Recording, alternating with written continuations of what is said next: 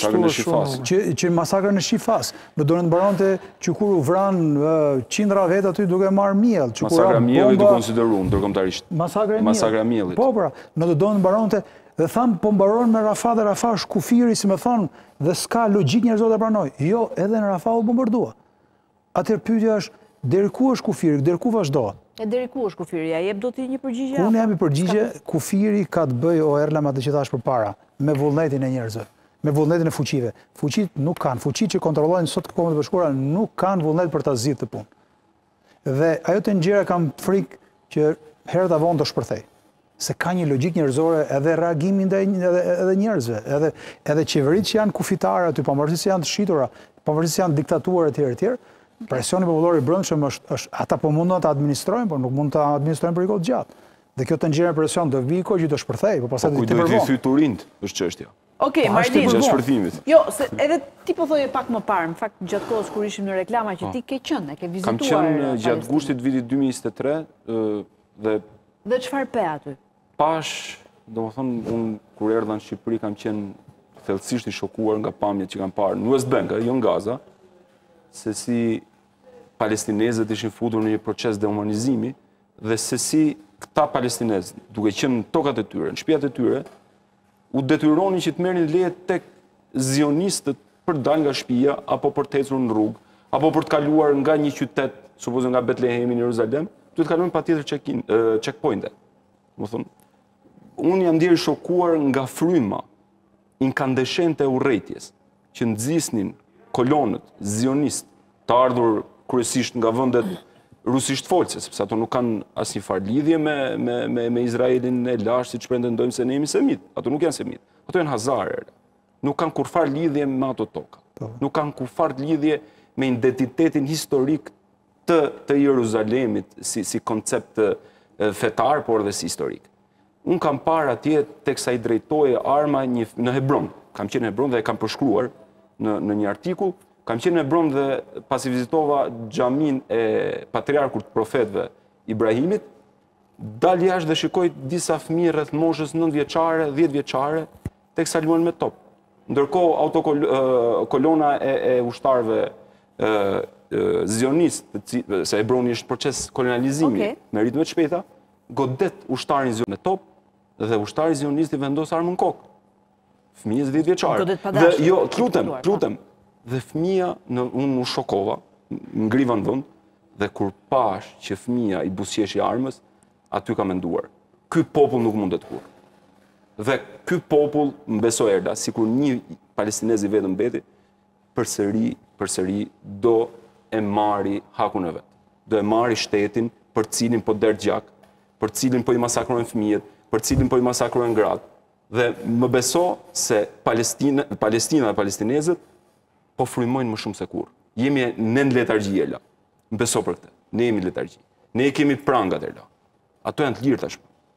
Ato po përballen me vdekjen dita ditës dhe po luftojnë për një shtet të lirë palestinez. Ambasador, a është shkelur vija e kuqe dhe a mund të shohim më shumë se sa kaq që po ndodh? Po siç edhe Niku tha, në emisionin e radhës e sigurt, po bilanci do jetë dhe më tragjik. Vija e kuqe ka kohë që është shkelur. Por problemi është tek zgjidhja. si do zgjidhet, kur do zgjidhet dhe kush do ta zgjidhë. Dhe atë që thashë edhe më përpara që zgjidhja do të vijë politike, do të jetë politike, ku Shtetet e Bashkuara të Amerikës do të jenë kontribuesi kryesor në zgjidhjen e problemit. Natyrisht nuk do të ketë zgjidhje përfundimtare në kushtet aktuale, Por, do të jetë një zgjidhje e përkohshme që do të eci në rrugën e zgjidhjes përfundimtare. Por, vija e kuqe ka kohë që është... Ambasador, të bëj një pyetje që mbase mund të duket naive, po ndoshta dhe qytetarët e bëjnë, ata që mbase dhe nuk e njohin as fuqinë ushtarake të dy vendeve. A duhet perëndimi dhe të ndalojë së furnizuari me armë Izraelin apo mbështetet e gjitha tek forcat e veta, pra nuk e ndihmon njeri? Për të kuptuar nëse dhe kjo mund të ishte një masë, një përveç rezolutave që thamë që mund të bëhet. Ja, patjetër, patjetër. Sigurimit, po, patjetër. Të ishte kjo një hap. Natyrisht, instrumentat janë të shumtë për të ndaluar veprimtarinë e Izraelit kundër veçanërisht në veprimet që kanë ndërmarrë edhe aktualisht në Rripin e Gazës. Por, arma është instrument. Politika është ajo që vendos. Qoftë se politika vendos, ndërpriten dhe armatimet. Qoftë se politika nxit, atëherë vazhdojnë edhe luftimet. Kështu që duhet shkojmë gjithmonë te përqasja politike dhe te zgjidhja politike. Kjo është përgjigje.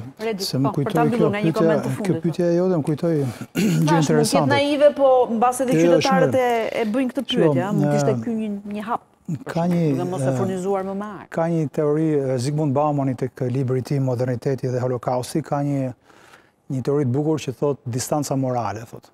Ai thot kështu që nëse ti një person e ke përballë, e mhm. prek, është shumë e vështirë t'i bësh dëm atij. Por të për të t'i bësh dëm atij do shumë punë. Një person që vetëm e dëgjon ose vetëm e shef, i bën Pak më lehtë dëm. Një person që vetëm e dëgjon dhe nuk e shef i bën akoma më lehtë dëm dhe një person që as nuk e shef, as nuk e prek dhe as nuk e dëgjon i bën i bën krejt fare lehtë dëm. Dhe këtë e quan ai distanca morale. Do të thotë në kohën e sotme thotë ai, ti mjafton të shtypësh një një buton dhe ti çon një raketë aty vret dy mijë vet atje dhe ty nga ana morale ty nuk të krijon pra distanca midis aktit dhe përfundimit e zhvlerëson moralisht gjënë thotë ai dhe këtë e ke parë me bombën atomike domethënë që ti hudh bombën aty vret 500.000 vet atje dhe ti nuk e ndjen sepse nuk e ke afër tjetrin kjo që ndodh në Gaza tani është interesante sepse ti s'ke distancë fizike për shkak se mediat ta kanë sjell ty çdo gjë në në në celular në celular në rezolucion shumë të lartë. Dhe duke e pas ti këtu afër këtë, këtë gjë, ti nuk ke distancën fizike për të ndërtuar distancë morale. Mirëpo ajo që ndodh është që elitat politike sot në botë, kanë një distancë morale me ngjarjen, edhe pse po e përjetojnë dhe po e shofin. Dhe kjo është shqetësuese sot. Pra ti nuk je larg dhe thua meqë jam larg dhe nuk i shof, nuk jam i atashuar moralisht dhe emocionalisht me gjën.